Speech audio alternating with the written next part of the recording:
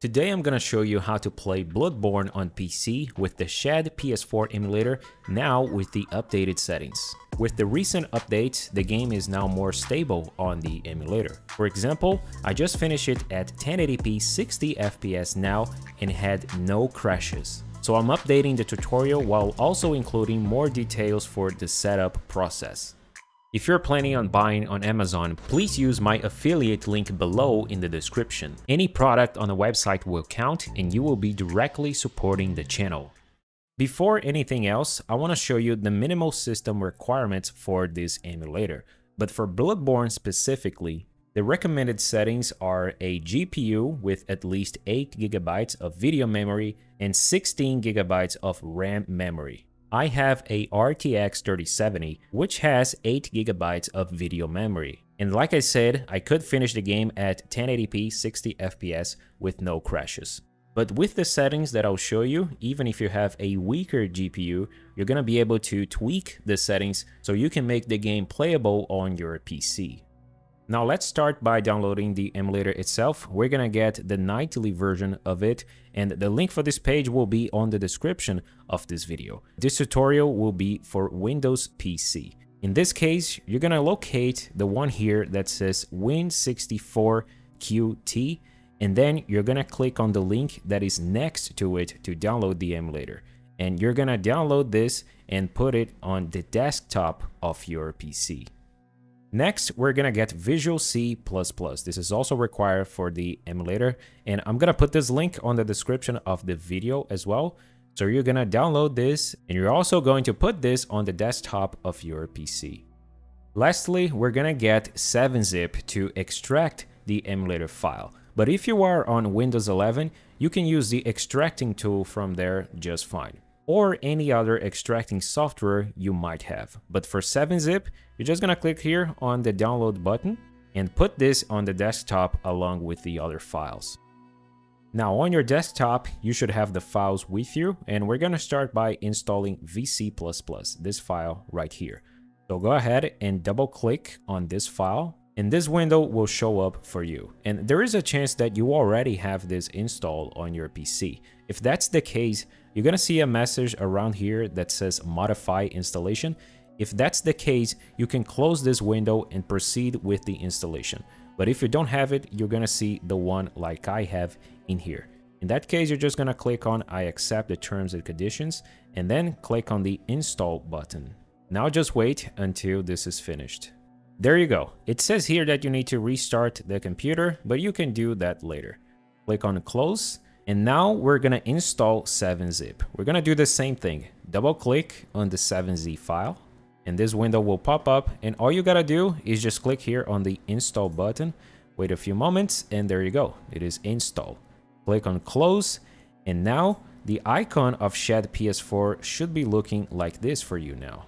At this point, you can delete the 7z and VC++ file. We're not gonna need this anymore. Now with the emulator file, what you're gonna do here is click on it with the right button. And on this window, you're gonna put your mouse on top of 7-zip. And then you're gonna select the option that says extract to and then the name of the emulator so that all the files will be inside a folder. When it's done, you're gonna see this folder with you. And from here, you can delete the original zip file. We're not gonna need that anymore. We're gonna start by double clicking on this folder now. Now this is what the emulator folder should look like for you. And before starting the emulator itself, we're gonna create a folder here to place the game files. So what you're gonna do is anywhere on this folder, you're gonna click with the right button.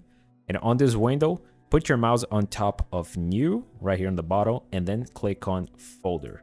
And you can name this whatever you want. In my case, I'm just gonna call this Bloodborne so that I know where the game files are going to. So now you're gonna start by double clicking the ShadPS4 application. So go ahead and do that. And as soon as it starts, it's gonna ask you the directory to install the games, which is that Bloodborne folder we came up with. So you're gonna click on this browse button, which should open the emulator folder by default. And then you're gonna click on the Bloodborne folder once, and then right here on the bottom, click on select folder. And there you go. You don't have to click on the DLC location here. Just go ahead and click on OK. And like that, the emulator will pop up. This would be a good time to subscribe to the channel and also leave a like on this video. So now in here, we're gonna change a few of the emulator settings. So click here on this button on the top and on the first tab, General, just make sure that the update channel is set to nightly. It should already be so that you get the latest updates for the emulator and also click on enable check for updates at startup. Now move over to the graphics tab and there's this setting here called VBlank divider and by default it should already be set to 1 and this is for playing the game at 30 or 60 FPS. But if you're planning to play this at 120 FPS, if your PC can support that of course, then you're gonna set this to number 2. So I'm just gonna keep mine here at number 1.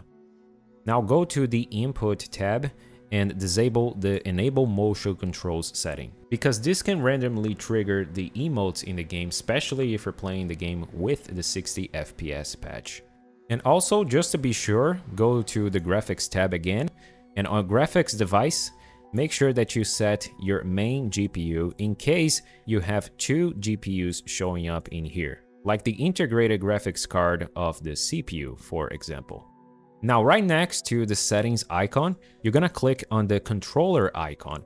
And at this point on the emulator, we have the option to remap the controls.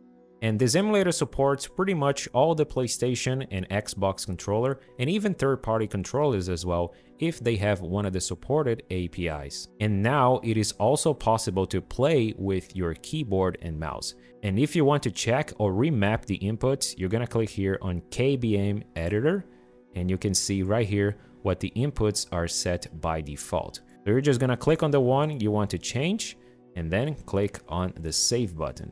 When you're done, click on apply and then save as well. Now to add the game on the emulator, I'm gonna go back to the emulator folder and this is where I'm gonna drop the game files that I have with me. They don't necessarily need to be in this folder now, I'm just doing it this way to show you what they look like. And the best way to get the game and the update file on your PC is by ripping a copy of the game that you might have to get these files in here. But you can also do a Jack Sparrow on the internet if you know what I mean. But this is something that I can't do here on the video because it is basically piracy and YouTube is very strict about this sort of thing. If you do that, they will delete the video and strike your channel. So the best thing that I can say without getting in trouble is that Google is your friend. So when you have the files with you, you're gonna go back to the emulator, you're gonna click on where it says file, and then you're gonna click on install packages. It should open the emulator folder by default, so now you're gonna navigate to the location where the PKG of the games are, and you're gonna first install the game and then the update. Do not install both of them at the same time because then you're gonna get a arrow on the emulator. So I'm gonna start with Bloodborne. I have the Game of the Year edition with me. And by the way, regardless if you have the Game of the Year or the vanilla version, you're also gonna need the 1.09 update. But anyway, I'm gonna start by installing the game, double click on the PKG, and then this window will pop up. Click on OK, and then just wait until it is extracting the PKG and this will likely take a few minutes to complete. When it's done, you're gonna see this window, click on OK, and then you're gonna see the game showing up here. Now you're gonna do the same thing, but for the update. Click on File, Install Packages, locate the update folder, and double click on that, and install again. This one is gonna be much faster. On this window here, click on Yes. It'll only take a few seconds, and there you go. And if you did it right, you're gonna see here version 1.09. Now is the time to activate the patches and I'm also gonna show you how to use cheats as well if you wanna do that. So on the game, you're gonna click on it with the right button. On this window, click on cheats, patches. And there you go, you're gonna see this window. And for cheats, it's gonna be empty just like the patches. And what you're gonna do here is on the bottom, you're gonna click on Wolf 2022 and change this to Shed PS4 and then you're gonna click on download cheats. You will see this window, click on OK, and then the cheats will appear. But to use cheats on the emulator, first you need to have the game running. You can see right here, if I try to turn on this cheat, it's gonna tell me that. Can't apply cheats before the game is started. So once you have the game running, you're gonna come back here and turn the one you want. Now, moving on to the patches tab, we're gonna do the same thing. On the bottom, click on GoldHEN and change this to ShadPS4, and then download patches. And you're gonna see the list of patches available. And the patches I'm gonna recommend you to use are skip intro so that you get faster startups, disable chromatic aberration and disable motion blur. Scrolling down a little bit, enable the 60 FPS with a delta time patch. This is for playing the game at 60 or 120 FPS. If you set the V-blank divider to 2 like I showed you before, then you're gonna play at 120 with this patch on. Also click on Enable Old Hunters DLC and Disable VSync. Now, if you scroll down a bit more, you're gonna see the resolution patches for this game. And by default on the emulator, the game runs at 1080p resolution just like it is on the PS4. That is why you're not seeing a option for that in here. And on the emulator, even if you have a really good GPU, it is not recommended to increase the resolution to anything beyond 1080p. That is because if you do that, you're gonna have issues like the game crashing when you're taking or dealing damage, invisible enemies, and also the geometry of the game just being broken overall. So keep it to 1080p. But in case the performance of the game is not good for you, then you can reduce the resolution to something like 720p or even below that. Just make sure you only have one of the resolution patches enabled here. When you're done, click on Save and select OK. After you get the game on the emulator, you can delete the PKG of the game and the update. But I would advise you to do this after you start the game and if everything is running fine. Just in case if you have a big issue where you have to redo the whole setup process again. Now for adding the mods, I'm also gonna drop the files on the same emulator folder we have been using all this time, and I'm gonna explain what you need to know about them. These mods often have copyrighted material in them, so it is the same situation as the game files themselves. I cannot show on the video where to go to get them, but I can give you the names and where to find them. So the first quote-unquote mandatory mod is Vertex Explosion Fix. You should use this one regardless of your setup. Now, if you have a NVIDIA GPU from the 1000 series or below that, you're also gonna need the Bloodborne Bright Object Flash Fix. And if you have a Intel CPU from one of the generations that I'm showing on the screen right now, you're also gonna need the PCSFX Fix All Effects No Crashes for Intel. These are the names for all three mods.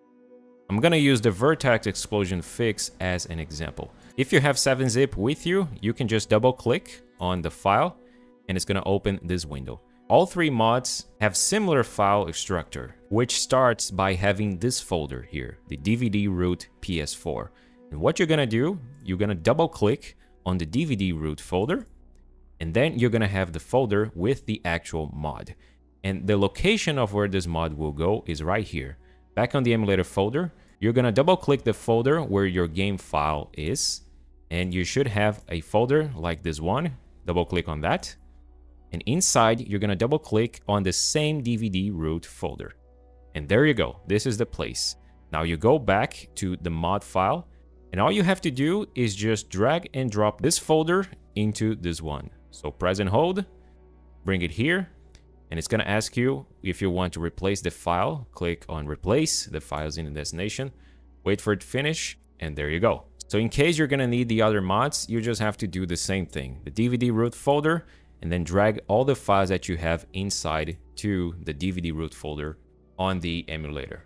Now this next step might come across as weird, but the next thing we're gonna get is the new mod manager for Bloodborne. And the reason for doing this is because this manager comes with a fix for the missing sound issue that the emulator has when you're playing at 60 FPS.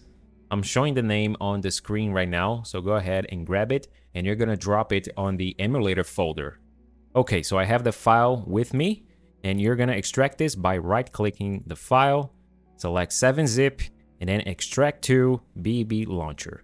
Now you're gonna have this folder with you, double click on that and you're gonna see the mod files.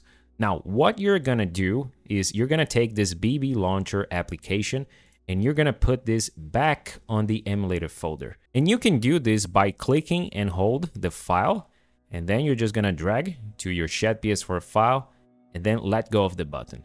Now you go back to the main folder, and you're gonna start by double clicking on the application.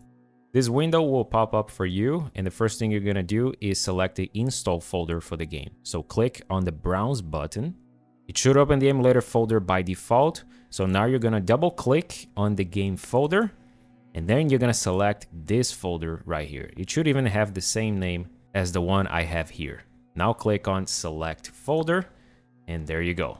If you click on the BB launcher settings option, you're gonna see that the 60 FPS sound fix is already enabled by default. And there are some other settings you can change if you want, even the remapping controls of the emulator and also the patches too. And you might be wondering why we didn't use the manager before to install the mods.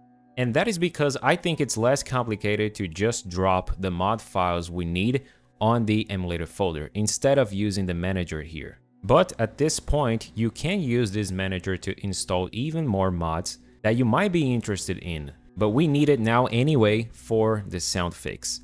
Now we are ready to start the game and keep in mind that whenever you want to play the game, you have to do it through the manager now so that the 60 FPS sound fix is working. So all you gotta do now is click on the launch button. Be aware that it might take a little while for the game to start for your first time. It might even look like the emulator is about to crash or something, but don't worry, that's normal. Just wait until it goes through. Also, when you use the manager, there's no way to activate the cheats. So if you want to play with that, you have to open the game through the ShadPS4 emulator. But that way, you won't have the 60 FPS sound fix. To go full screen, press F11 on your keyboard. I have many emulation tutorial videos like this on the channel, so if you like what you saw, don't forget to check out my other stuff, subscribe to the channel and leave a like on this video. Thank you for watching and I'll see you soon.